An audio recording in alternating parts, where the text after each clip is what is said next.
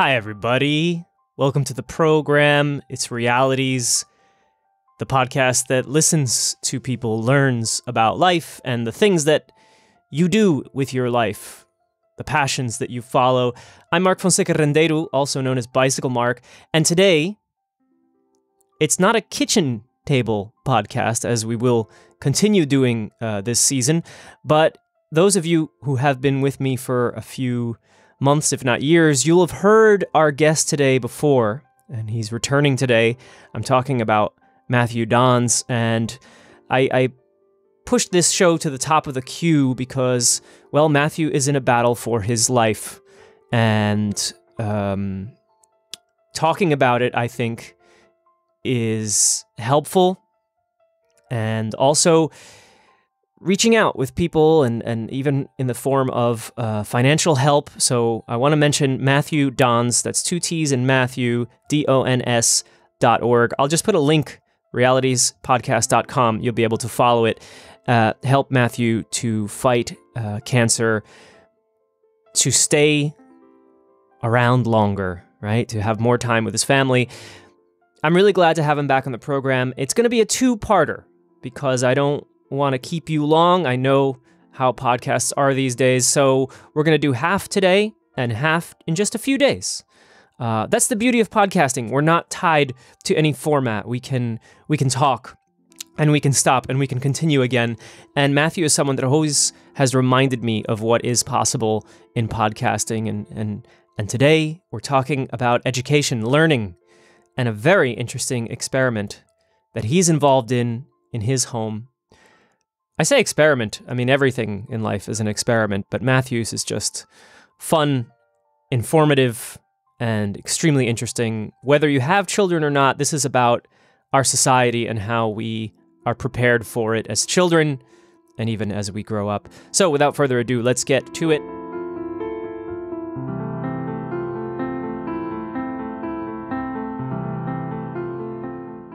So, hi, everybody. We're here on the program. Uh, it's been a little while since the last time we spoke with uh, Matthew Dons, who joins us today from Tokyo. So let's first of all say hi, Matthew.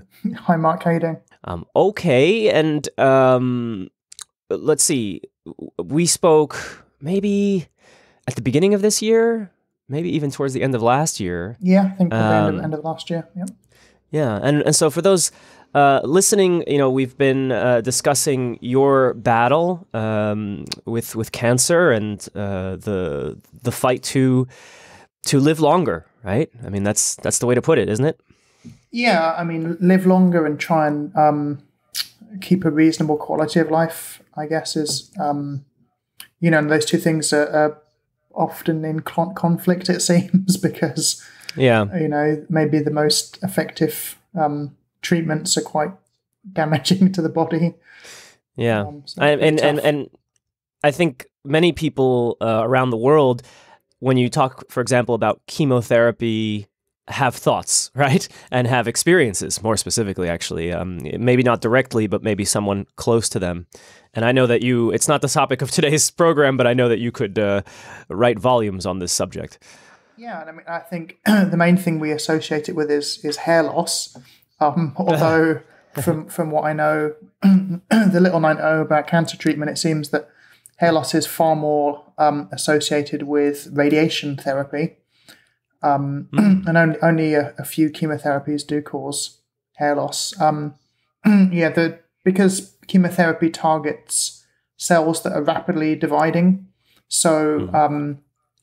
if you think like for an adult, the only bits of your body that are kind of always um, re- regrowing a kind of hair follicles, skin, lining of intestine, lining of stomach, um, bone marrow, unfortunately, where, where your blood is made.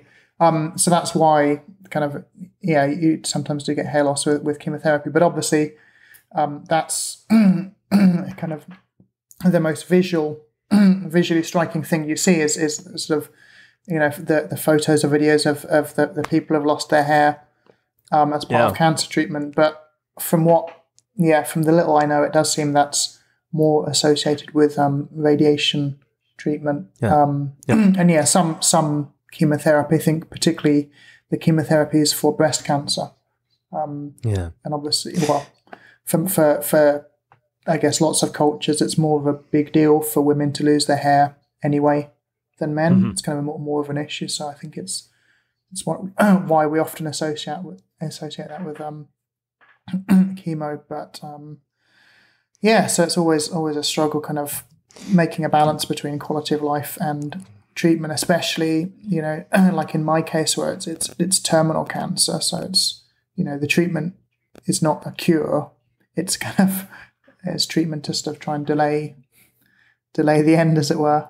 Um, Sure. So that makes kind of the balance even more tricky. Th- throughout this process, what you've been doing, and that's also part of, I think, making a podcast, several podcasts, including this one, is that you've been um, documenting uh, not only what's happening with you, but also things that you think are important that perhaps, like many people in this world who who say, "Oh, when I have time, you know, later on, I'll." Uh, I'll finally record or write. Uh, and I don't know how you're doing in terms of writing, but I know in terms of recording, and anyone who goes to your YouTube channel, uh, I believe under your own name, Matthew Dons, uh, will get to see you've made, you've built up uh, a library of talks on subjects, uh, subjects you have experience with, or subjects that you have an interest in. And, and in some cases, it's it's both of those really.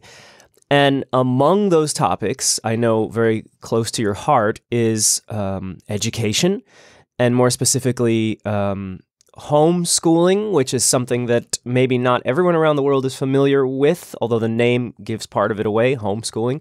So I thought it would be, and, and we, we'd been discussing, you know, what we'd like to record. Uh, uh, now, and one idea was, yeah, let's talk about that education, that that homeschooling. So I know there's tons of topics we could cover, but today we're going in this direction. Um, I mean, first of all, prior to so you have two children. That's a a, good detail, I think, to have, um, and that'll certainly impact how someone looks at education. Uh, um, but even prior to having children, I mean, what was your thinking on the subject of you? You weren't homeschooled, right? What were you thinking when it comes to education? So um, I went to regular state schools in the UK. Um, in the UK, education is um, uh, so we sometimes have this term in the UK postcode lottery. Or I guess in the US, you know, zip code lottery. Um, we, we often use it for um, healthcare, actually, for kind of comparing um, different levels of healthcare in different areas of the country because there's quite a lot of um, autonomy. So, um, and the same is true of education. So in England, um, education policy is obviously made by the national government, but local government have some power and something a bit kind of overlapping with local government is called the local education authority. Um, and they have quite a bit of power as well. So um, the um, the logistics of the education vary quite a lot depending on where you are in the country, um, Mhm. even to um, to the degree of which um, ages you go to various different schools. So um, Hmm. my local education authority had um, when I was a child the schooling system had three schools that you went to. So you went to a first school, a middle school, and a secondary school. Most of the country um, had a two school system. So you went to primary school um, and then secondary school. Um, other bits of the country have grammar schools, which you needed um, an entrance exam for at the age of 11, an exam called the 11 plus. Um, So I went through the regular state school system. Um, I, yeah, hated it, I guess. Um, Yeah. oh, uh, yeah, ob- obviously. um, both my parents are teachers. Um, so that was kind of interesting. Um, And I, yeah, I, I didn't, it didn't occur to me that you didn't have to go to school. Um, obviously, some countries have laws regarding homeschooling. Um, Germany is the example most of us are familiar with where homeschooling is not allowed. Um, Yeah. I think that's um, a, a partly a historical thing with the history Right. of Germany.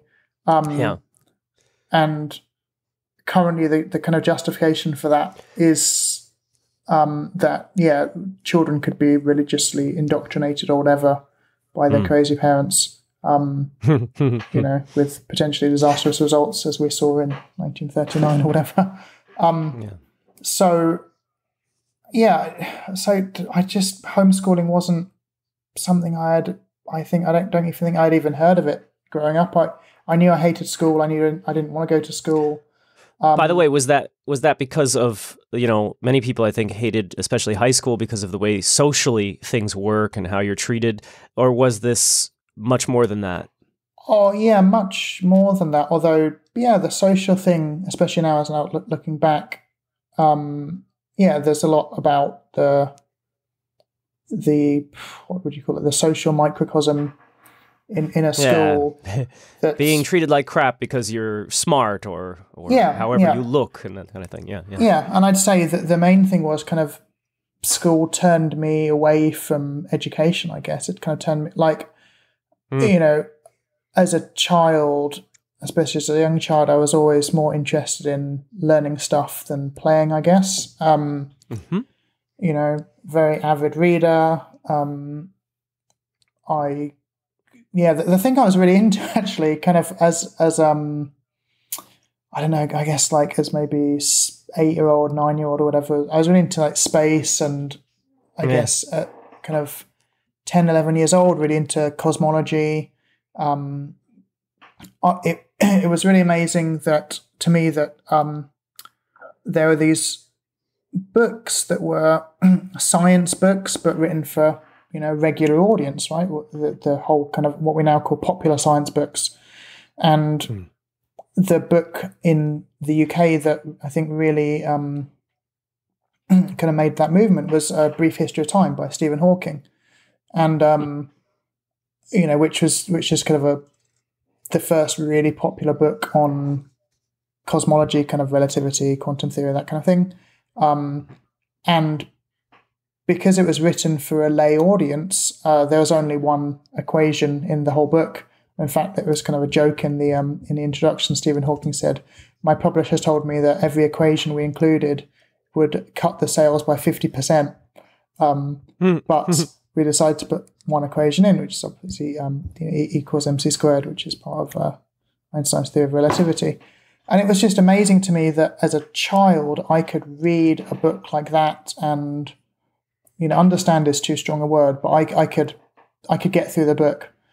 Um, Yeah. And this was, you know, topics that were, po- you know, postgraduate, you know, post PhD, postdoctorate research level, and yet as a child we could read these um, in, incredible popular science books, and it was such a contrast to what we studied at school um, and and yeah, just even as a child, I just I could see that the way school worked seemed to be a little bit odd. It was kind of you know even as a child, it struck me this is a very strange way to learn things. It's a strange idea, and kind of who who is it who's decided what we should learn? Like I, Yeah. I, I you know where did it come from and obviously now now as an adult I've looked into a lot of that and um but at the time at the time I just yeah the whole thing just struck me as very silly and um I did yeah generally okay at school although you know in England at least at the time there was a lot less um, measuring of kids fortunately. It's now getting clo- closer to the US but at least at that time there's a lot lot less measuring of kids. So no concept of um in the US there's a system called um is it GPA grade point average? Where Okay. basically in the US at school I think people are kind of scored for each subject and they have this running total average total. Um in the UK there's no high school graduation. So there's no concept of graduating from high school. We don't have a high school diploma system. Um Okay. so there is kind of less measuring than there is now. Um Huh. But No countrywide exam or something. So there, there are there are countrywide examinations um, that are kind of um, we call them public examinations, which is is interesting and, and potentially quite relevant to homeschooling because um, they are open to the public. so you can pay the exam fee and take the exam without attending school, for example. um, okay. Okay, so so you, you know we have these public examinations, but they're not compulsory. So mm-hmm. um, when I was at school, you took the um, the exams with a general certificate of secondary education. Took them at the age of sixteen. Um, what's called compulsory schooling in England lasts until 15 and a half, at least it did at that time. So you could easily mm. leave school without physically taking the exams. Um, so I did kind of okay at school, did um, at least kind of early on, I did very well in, in mathematics and, and science subjects. Um, mm-hmm. Although, yeah, it got to the point that I just I just hated being at school so much, and um, there was a yeah there was just a, a certain point, I guess probably 15, 16, something like that, where it was like school turned me off wanting to learn stuff. I guess. Um, yeah. Fortunately, I had already discovered what we now call the underground. So, um, yeah, fortunately, I was still, you know, even the the oppressive power of school wasn't enough to turn me off hacking and you know interest in phone phreaking and terrorist yeah. techniques and homemade explosives did, and making smoke bombs and all that kind of stuff. That that did you have did you ever have the the classic experience? I mean, classic. I hope some people have had this of a a teacher in particular that you actually did uh, like and and and sort of led you to places you had never uh, been interested in, or that kind of thing. Uh, um, I don't. Uh, I mean, there, there are certainly. Yeah, I, I had some really great teachers, and you know, they were they were great despite of the system that they were in, and they were mm-hmm, critical mm-hmm, critical mm-hmm. of the system that they were in, and um, yeah, you know, uh, but um, they they always said the same thing to me, and particularly to my parents, which is that you know, oh, we can you know we can tell you're bored, and you know this is no, this is no good for you, but mm. it's going to be better at the next stage, whatever the next stage is. So, so that was kind of the that was the kind of the lie fed to me throughout the education system was that you know right. that, they'd write things like you know in school reports they write that Matthew is bored by GC, GCSE science but will will excel at the you know A level when I when I went to do the so the A levels are what we do in England when um 17 and 18 um so it's just um equivalent I yeah equivalent I guess of high school. I, I yeah. don't know much about the US education system, but um, but in Japan it would be the equivalent of, of kind of high school. Um, yeah. And of course, then you know it was it was boring and ridiculous, and the teacher said, "Oh, but you know when you get to university, that'll be you know that'll be really great." Yeah. And then of course, right. first year of university, everyone says, "Well." You know, you have to learn all this stuff first, and then the next year it's going to be better, or you know, do your master's yeah. degree or whatever.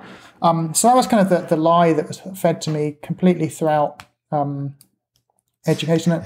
And I, yeah, you know, after being told that kind of every few months for several years, you get to the point where you say, hang on, you know, I've, I've heard this again and again and again.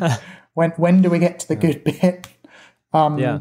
And for some reason, it seems in, in, um, in the school system, the the most interesting aspects of any subject kind of get minimized as you go along. so, huh. you know, if you think of mathematics, for example, um, all the kind of fun aspects of mathematics somehow get kind of destroyed or drowned out in schooling, and, and the focus of school mathematics is really arithmetic um, which is you know a, a, very very small. First of all, it's a very very small part of mathematics. It's a kind of a, a small mechanical part that is you know mm-hmm. is, is is now done by by machine on our behalf. Um, mm-hmm. And yet, that's what's really emphasized in school. You know, techniques for long multiplication, long division, um, kind of crude statistical methods. Um, mm. num- you know, number crunching we call it, and that's a, that's a very kind of small um, and quite frankly unimportant part of mathematics. Yeah. At, at, least at least the way it's done in school. Um, yeah, so so I just that I guess it was that underlying lie. I guess it was when I mm, when when I kind of really saw through that, when I saw that whatever happened, no matter how um, far along the journey I went, I'd always be told, you know, yes, this this bit you're stuck in now is unpleasant, but the next bit's going to be really good. And you know, you can only be told that a certain number of times when you think, "Come on, this is Right, right, this is right. getting ridiculous."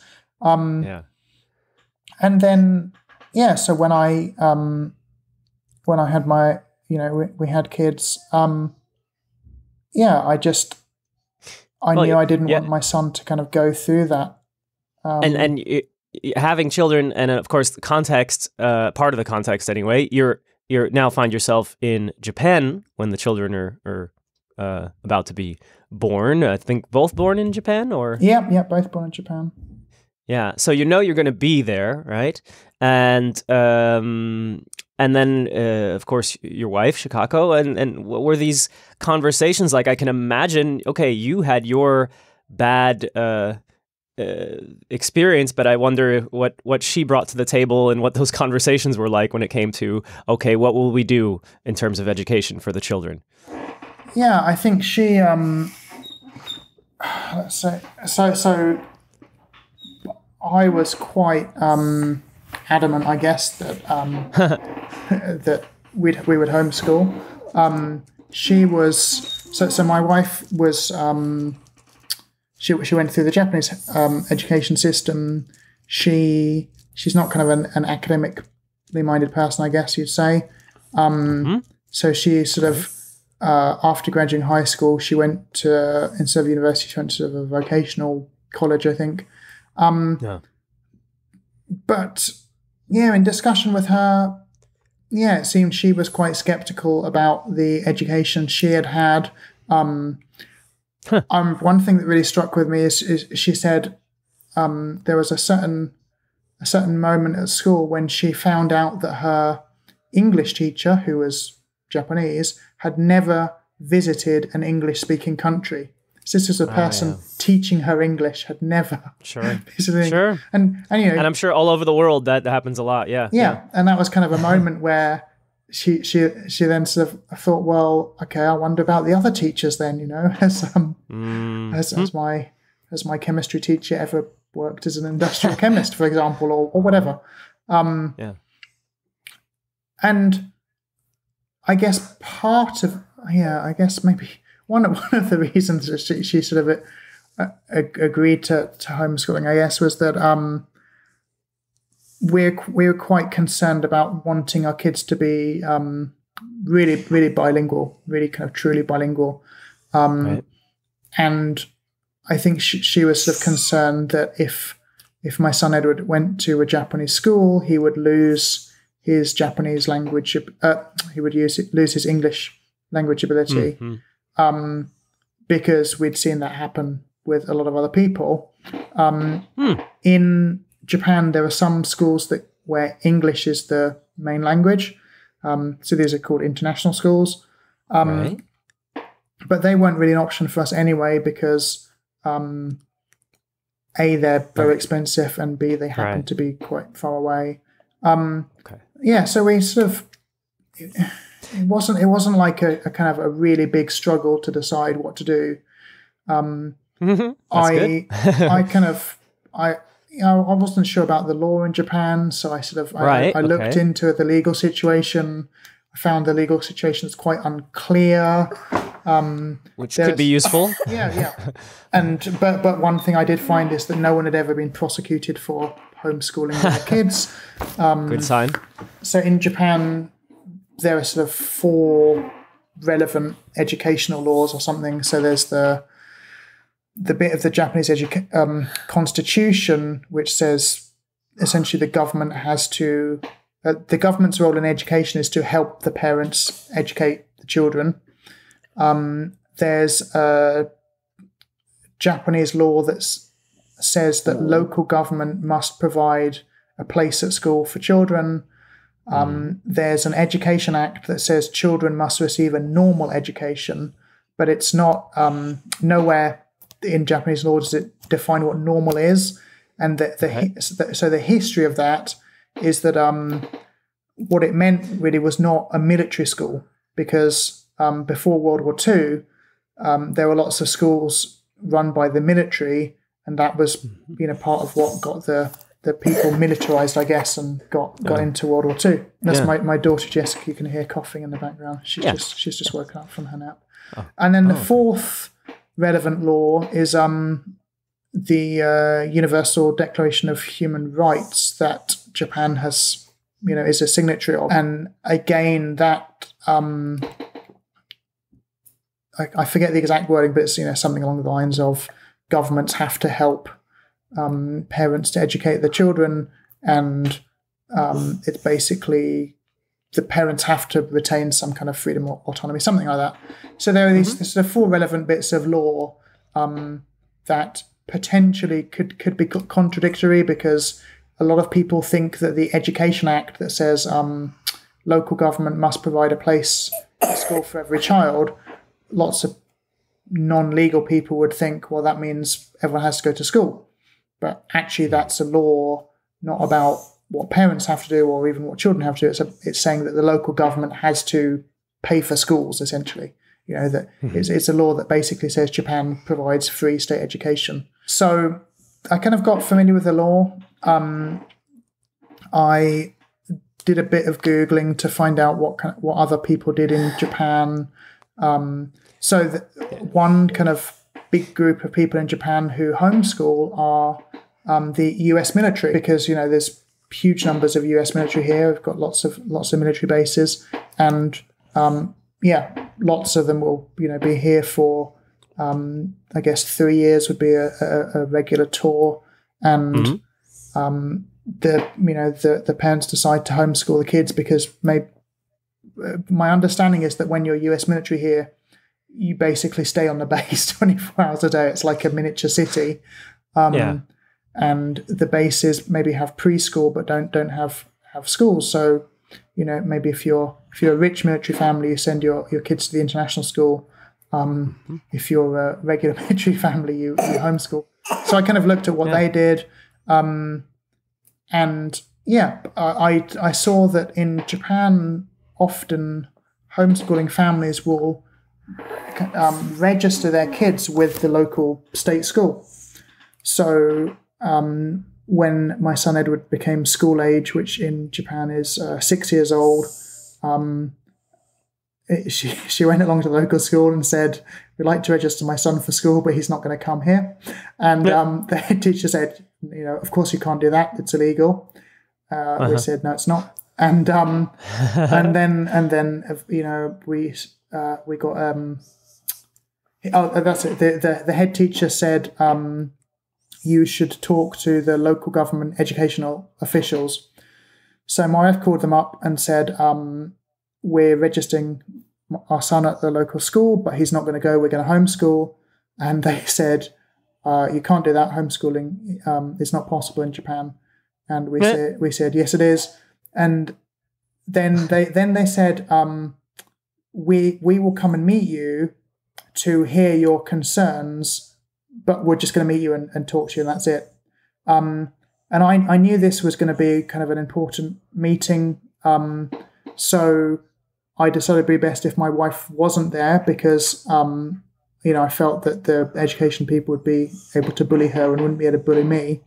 Um, and, Oh. I- and um, and also because my Japanese isn't great, you know, obviously the conversation would be going on in Japanese, um, and they'd easily talk in a way that I wouldn't really know what was going on. So I, I found um, a volunteer translator. Found like a, my local um, local district. There's like a some kind of NPO that provides volunteer translators for kind of medical Wow. stuff, legal stuff, that kind of thing.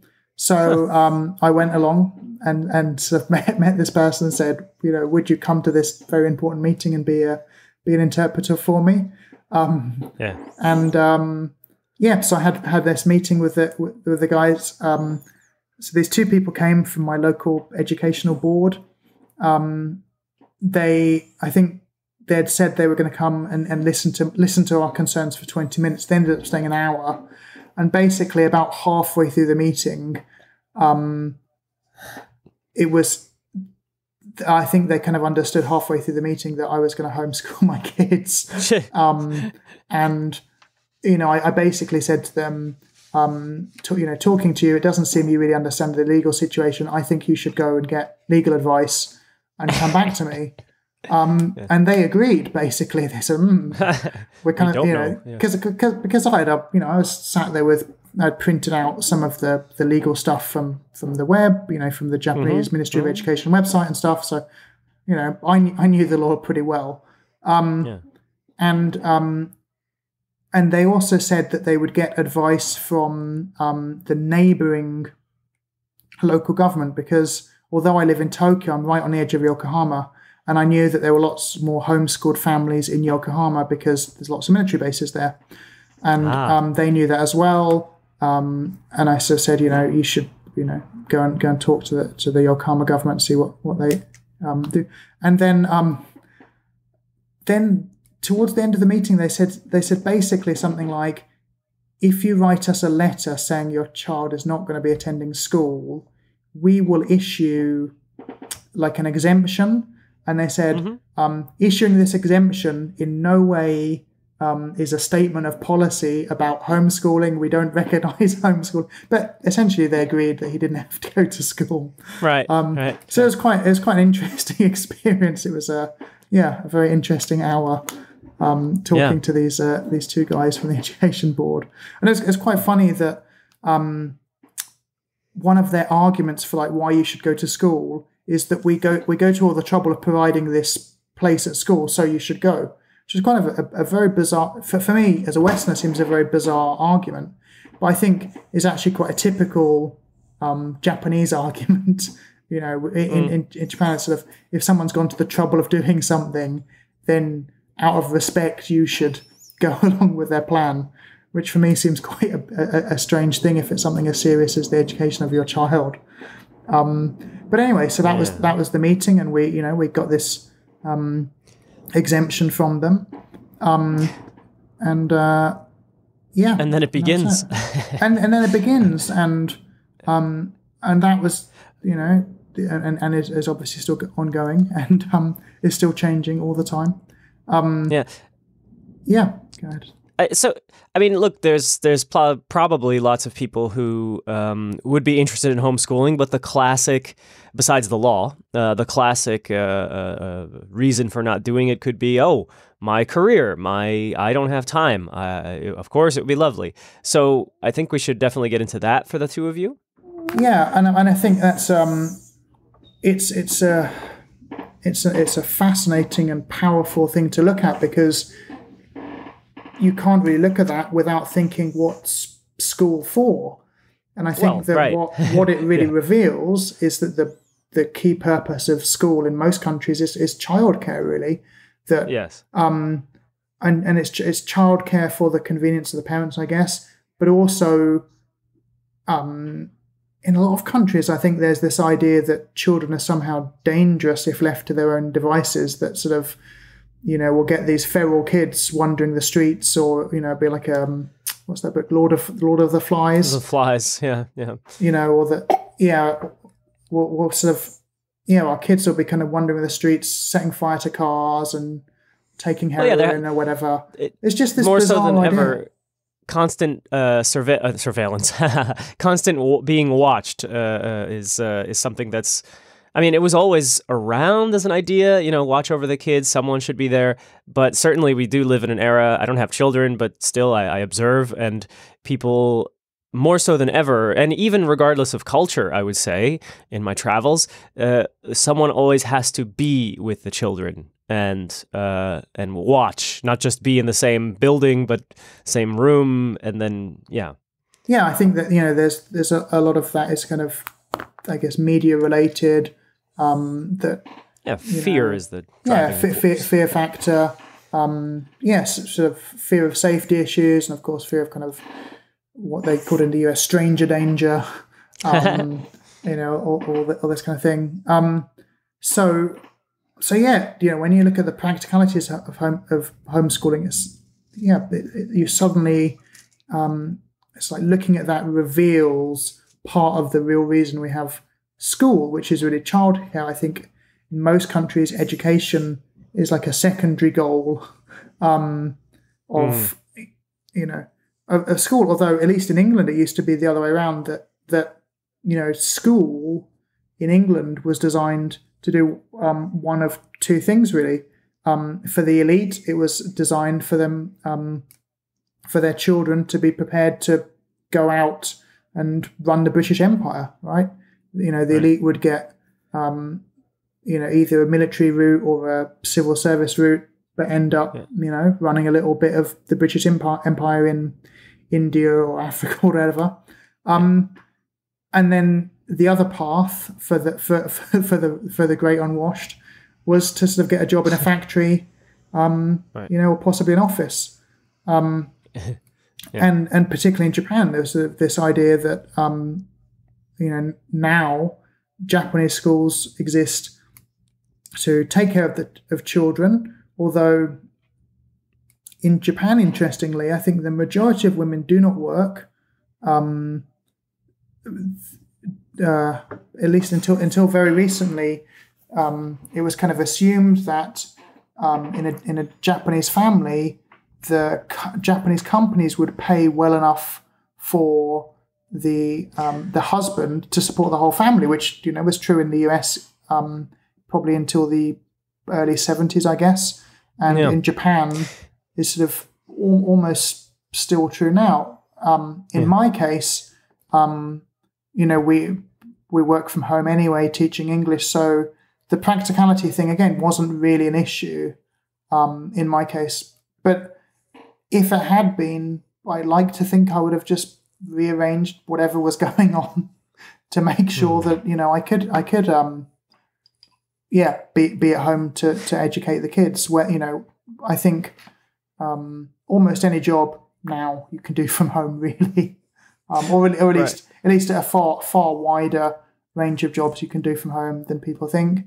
Um, yeah. And I think many adults don't really like their job anyway, so you know, maybe maybe um, they can they yeah. can sort of re-engineer, re- redesign their whatever they're you know they're doing.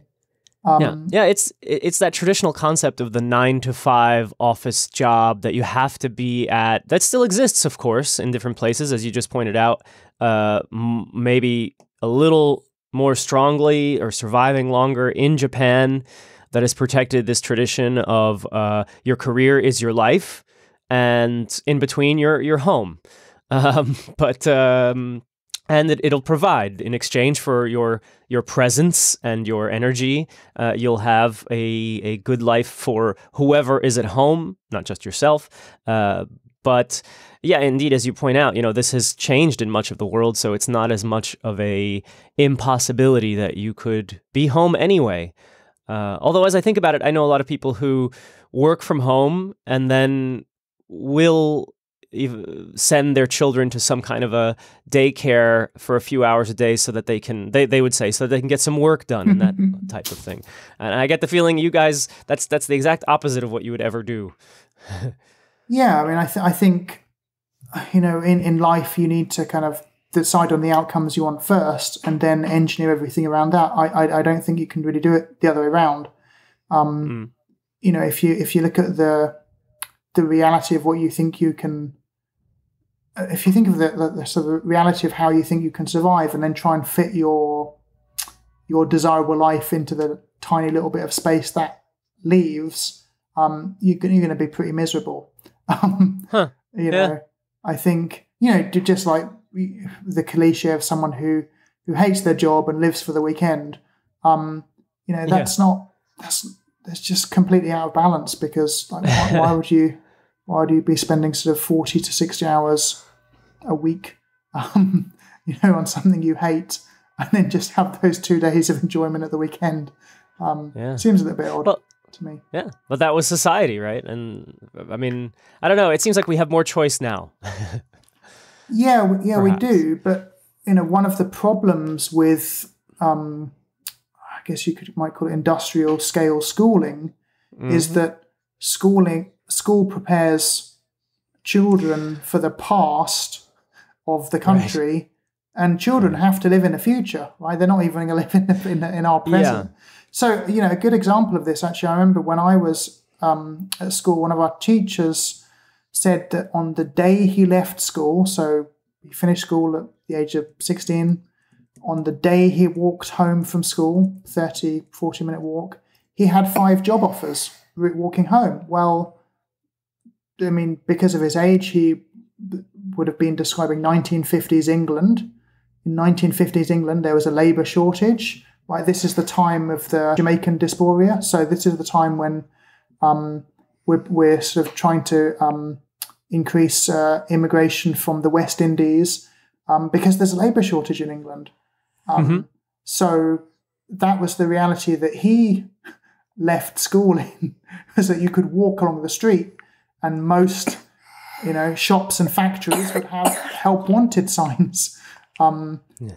I was at, you know, I was at school in, I guess, 1990s, and already we knew that for most most of us at school, we wouldn't have a career for life. You know, we already knew right. that that was um, kind of on its way out, except except mm-hmm. for like a maybe a small percentage of, of people who were going into um, uh, I guess a, a quite a, a well defined profession like dentistry or mm-hmm. architecture or whatever. But most of us would, you know, be expected to do, you know, ha- have a series of jobs throughout life um, the yeah. job job for life kind of idea had gone. Um, mm-hmm. And yeah, one of the one of the problems of I think the central problems of industrialized schooling is is just this idea that you know we, we should really be preparing the kids for the, the future they're going to be in. And you know, a, a, trivial example of that is, is you know my son is Edward is eight years old. Um, mm-hmm. He I do not think he will ever drive a car except no. except maybe for pleasure, right? Because if you just think how, um, you know, you had a, oh, I forget the, your, your friend's name, but you had, a, you did a, a, a, podcast episode recently on education. Um, oh, Gabe. and Gabe, and you know, Gabe pointed out that um, in the US, I think like one of the most common jobs is truck driver, and yeah. um, and yeah, interestingly, it's actually um, the um, driving for for industry is the one that's going to be most quickly replaced with, with self-driving vehicles. Um, mm-hmm. And there are like technical reasons why it's actually much easier to have a truck that drives itself than you know um, a, a, tourist car, for example, that drives itself, right? Um, yeah. So you know, just I mean, just think about how like those people are going to be um, out. You know, out they're they're, they're going to be sort of um, training people now training for their truck driving license, um, who are only going to that job is only going to be around for a couple more years. Um, you know, so so my, my son probably will never never drive a car. Just like, um, you know, I've never I've never crank started a car, right? You know, with like one of those handles, right? Because right. um, you know, the the I think the last cars built with those handles were like what, 1960s probably. Um, uh, if if that, you know, yeah, if, yeah. if, if that. Um, so you know, there are lots of things that when we, we know we think about the you know you and I probably never never used a slide rule. Slide rules no. were you know looked like they were going to be around forever. Like no, you know, no one no one in the 1970s was thinking what's going to replace the slide rule. Well, no, no one, you know, or very few people predicted the, the pocket electronic calculator. Um, yeah. So, so then, you know, we start thinking about what, what is, you know, how, how do we prepare children for their future, not for our past? And, yeah.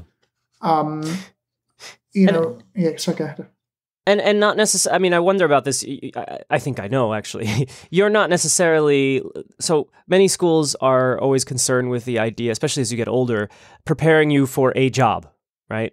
Uh, that you learn, that you enjoy. Secondary, that's not as important as when you get out there. You're going to do some kind of job, um, especially okay if you go to vocational school, even more so allegedly.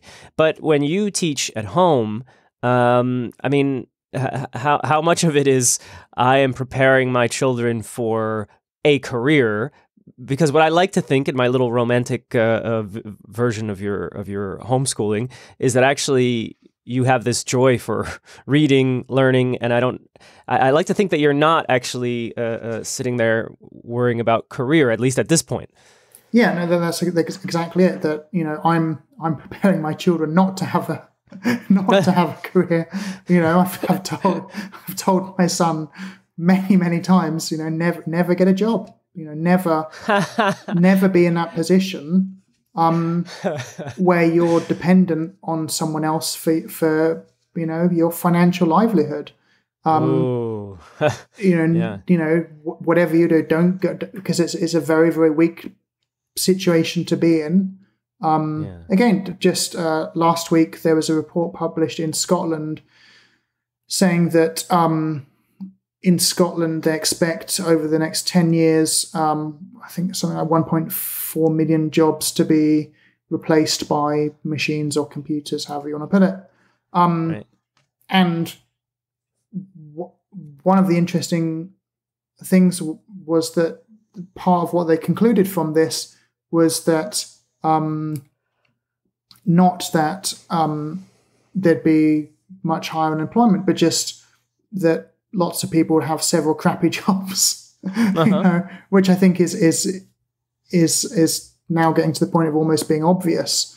Um, yeah. and, and, you know, it was that sort of hu- humans will be doing uh, you know, um, more and more like a, like a, a wider variety of narrower tasks um, that can't, at least at the moment, be automated. And as time goes on, more and more of those will get automated, and humans will be left with a kind of, you know, whatever scraps are left over.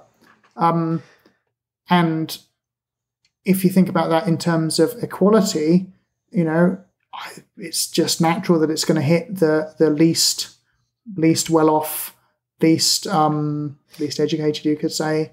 Um, mm. You know, it's it's going to certainly hit a certain sector of society more um, more than the others. So, you know, kind of pre- preparing for that, um, thinking about. I, I I worked as an IT instructor for a while, and um, we'd often get people coming to the IT school who were middle aged and had been made redundant and had done one job for life um, in an industry that had just died. So, you know, uh, I remember some guy coming from the, the print setting industry. So he had mm. he had been one of these people who, you know, got trays of metal letters and movable type and did type yeah. did typesetting. Um, and the industry was just destroyed by desktop publishing. You know, it can do it can do a better job. You know, that's that's a scary thing is that a lot of this this uh, mechanization does a better job than humans. Um, yeah. And yeah, the human bit is kind of um, often often we yeah, often we have like this romantic view that the human bit will be the creative bit but that's, that's the hope right yeah that's the hope you know that there'll be or or there'll be some incredible skilled bit um, that you know it's just really hard for humans to do. But already, um, you know, robots can do surgery better than humans in in some narrow cases at the moment. Um, that's going to change in the future. Um, the robots can definitely drill teeth better than a dentist can drill teeth. Um, and yeah, it's just going to get to the point where I think the the the bit that can't be mechanized is not necessarily the desirable bit. It's not going to be that you know you have this um, wonderful uh, thing where you know the humans get to do the the lovely aspects of the work and the the robots do the kind of the drudgery which which was the promise of robotics right was kind of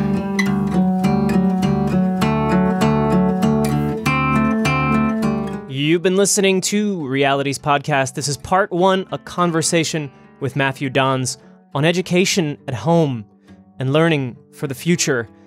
And come back for part two. If you're subscribed, realitiespodcast.com, you'll receive the show the minute it comes out in the next few days. And you can also leave a comment there or uh, wherever you use social media. You will find Realities Podcast. I'm Bicycle Mark, Mark Fonseca Rendeiro. I'll speak to you again very soon. Thanks for listening.